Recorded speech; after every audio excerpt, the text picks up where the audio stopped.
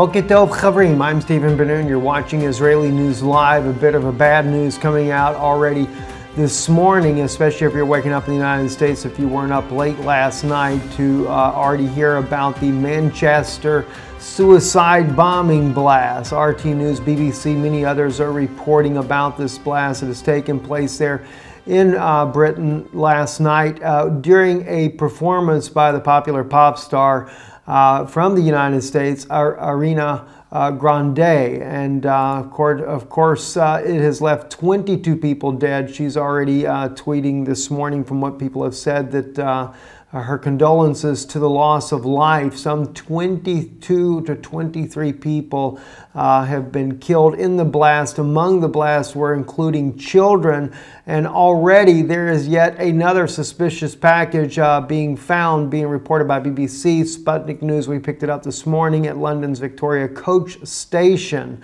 Uh, according to authorities there, there were over 400 police dispatched uh, to the area of Manchester. Uh, and of course, they're doing everything they can to bring this situation under control after this blast. And there has been a report already, according to uh, a, uh, a uh, Eastern news source there, RTHK, uh, stating that it is, was a, indeed a suicide bombing blast, according to authorities there uh, that have been investigating the blast as the man behind the terror attack at, at, a pop concert in Manchester overnight. On Monday died when he detonated his device, killing 22 others, including children, and injuring 59 uh, people, police said on Tuesday. Greater Manchester Police Chief Ian Hopkins said the man had set off an improvised explosive device as the audience was leaving the concert by a U.S. pop star, Ariana Grande.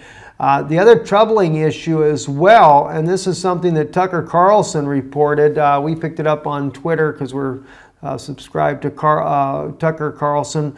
And listen to this uh, account right here from a gentleman that was there at the concert last night speaking about a lack of or absolutely no security outside the event, uh, something very unusual. Listen to what he has to say here concerts before, and we get sometimes you get tied down and get to to empty pockets. There was absolutely nothing at this concert tonight. We, we, we just literally got our tickets scanned and straight in. But this, yeah. so that was going into the concert, so there's no security whatsoever on the outside where the where the explosion took place. So anybody could have brought anything into where the bomb went off. Yeah, anyone. As we left, um, because there was that's very disturbing to find this out as well this morning that uh, according to this eyewitness, uh, Chris Pauley, stating that there was no security whatsoever outside the event uh, when they were coming in. Now, he said uh, later that uh, he wasn't sure about inside the event, but as far as outside the event, they were able to enter in without being searched. And as he noted, this was something very unusual there. They've always been searched, always asked to empty their pockets, uh, etc., but not in this particular case here. Moving on in other news this morning here, partisan girl uh, who actually lives inside of Syria says, wow, leaked photos showing U.S. soldiers entered southern Syria from Jordan to train terrorists. I reported this invasion last month.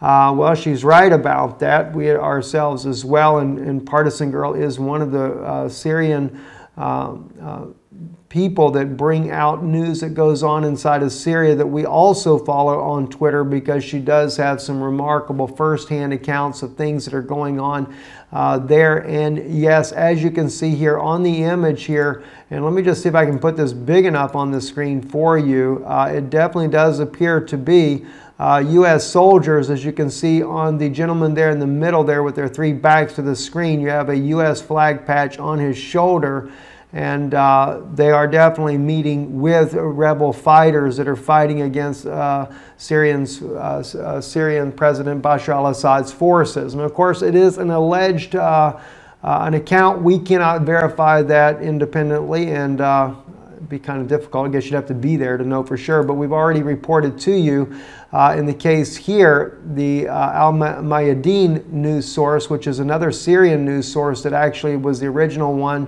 uh, to share these aerial photos of UK and British forces.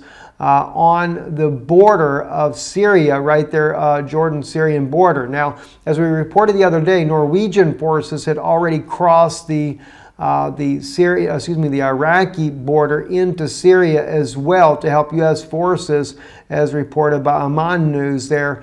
Uh, and what are they there for? Well, you, can pretty much guess why. Guess what we got coming out now. The FSA, Free Syrian Army groups in the Syrian desert declare the beginning of the Burkan al-Badia volcano of the desert. Um, this is. Uh, uh, something that uh, they're going to be faced with. The Iranian and Assad forces will be uh, trying to combat this particular uh, latest move and no doubt this is part of the groups that have been being trained all along. Uh, Trump says Iran and ISIS are major threats to the Middle East. This is something he said not only in Saudi Arabia, but he also said in Jerusalem, speaking at an address to the press conference uh, in Jerusalem on Monday. U.S. President Donald Trump said Iran is a threat to the region and must stop training terror groups. In statements following a working meeting with the Israeli President Reuven Rivlin, Trump noted that uh, noted Iran and the Islamic State as the major threats to the Middle East. Well, we, I am sure what we're going to see is once the uh, NATO allies there take down Bashar al Assad uh, over Damascus, when the fight begins for Damascus, this is what's going to justify taking down Iran at the same time because Iran is going to fight to protect Bashar al Assad, and this will be when the fight uh, uh, to take out Iran will also uh, commence as well. I do believe it'll be a simultaneous event. I think this is why we see the Saudis have done the $350 billion deal with the United States for arms, uh, with the majority of those funds that are supposed to be spent over 10 years, 109 billion being spent the very first year. So it seems that the Saudis also are getting ready for a major confrontation with the Iranian forces, and they are buying up as much supplies as they possibly can for that event. Uh, also, President Trump, he is the first president to actually uh, visit the Western Wall. And some are wondering, is this part of a new trend for the presidents of the United States? Well, I think that has a lot to do with declaring that Jerusalem is now considered an international city. As we've reported on Israeli News Live before, it is evident that Ariel Sharon already signed a two state agreement, and according to the source on that, uh, Zaman, uh, Simon Tov, uh, who stated that uh, the aide to Ariel Sharon at that time had said that Jerusalem would be surrendered. So East Jerusalem will go to the Palestinians, but the main part of Jerusalem may very well go to a United Nations force. And it won't just be the U.S. Embassy moving to Jerusalem at that point, it'll be all the nations' embassies moving to Jerusalem at that point. So uh, that's very concerning. So the, even though it seems to be a good thing when we see President Trump going to the Wailing Wall, uh, in support of the, uh, the Jewish people, I still uh, watch this as a, a, bit of skepticism of what the major sign and significance of this would be to the rest of the world, that indeed perhaps Jerusalem is becoming an international city. Don't forget, he will be meeting with Pope Francis tomorrow. Uh, today, he is already meeting with Mahmoud Abbas. Jump over to that real quick. Um, well, actually, that's where he calls Hamas a, major terror group as well. So Hamas is not very happy with uh, President Trump. But he's right, they are a major terrorist threat. Uh, totally uh, opposite of that of President, uh, former President Jimmy Carter, who still holds uh, Hamas's hand very dearly uh, as, as a great people. Uh, no comments were made either by the President of the United States nor President Abbas of the PLO during the initial handshake on the photo op in Bethlehem, as you can see here, the picture there. Uh, but there was one strange thing that happened, and I didn't notice it myself, even though I saw the event walking down the carpet there, the red carpet. But the First Lady of the United States, when uh, President Trump reached out to take her hand, she smacks his hand away. that just definitely does not seem to go over very well. And I'm sure you can see this in the uh, photo here. It was picked up by many uh, uh, in the press there, especially on social media. It went all over the place there that she slapped his hand away when he reached out to take her hand. Maybe something happened on the plane. But you know, if you think about it, if you notice too, it doesn't look like that, uh, well, maybe they are holding hands. Maybe uh, Prime Minister Netanyahu and his wife are, yeah, I guess they are holding hands there as well. So makes you wonder what's going on. Maybe a little bit of a riff there on the plane before landing, and that's why she didn't take his hand because she definitely didn't seem to be very be very happy of President Trump at that time. I'm Steven Ben-Nun. You're watching Israeli News Live. Uh, don't forget, uh, we do need your support, and I, I, apologize for keep asking about your support uh, here lately, but uh, the we are getting ready to go on national television in the United States with the hopes of bringing a balance of reporting of things that are going on in the Middle East, bringing that to the United States airwaves there.